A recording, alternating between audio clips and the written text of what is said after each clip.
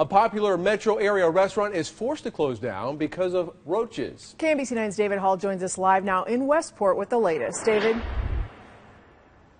Yes, good evening. The Sung Son Vietnamese Bistro is located on a popular street here in Westport, and many people eat here and at other nearby restaurants. Now, the Kansas City, Missouri Health Department is shutting down this restaurant because they have a problem with roaches.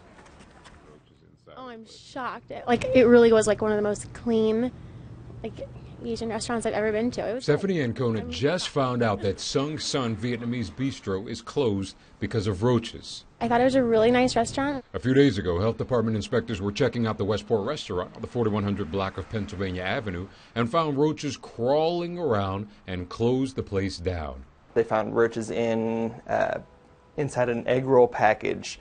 Uh, they found roaches in the in ice. They found roaches on top of equipment, uh, on stoves. It was just uh, a large number of roaches. Jeff Hirschberger says in past department inspections, dead roaches have been found. So I asked him, why wasn't this place shut down sooner?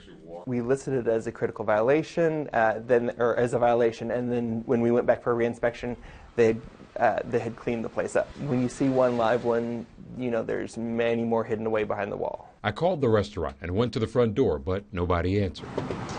Outside of a People Love Us on Yelp sticker, we found a sign which read, Sorry, closed because of plumbing. Moments later, someone inside of the business took that sign down. I mean, I think that's not right if they're lying to people about it, but I don't know. It was clean. I'm super shocked. I'm totally shocked and kind of disgusted. Tom Foster co owns Fidel Cigar Shop just a few doors down and also is surprised. It's sad to hear any small business being affected or closed down over an issue like that. And the health department tells us that no one has complained of getting sick after eating here, and also they say other nearby businesses appear to be roach free. Reporting live in Westport, I'm David Hall, KMBC 9 News. All right, thank you, David. The health department says before the restaurant can reopen again, it needs to contact pest control, clean the restaurant, and call the health department for a reinspection.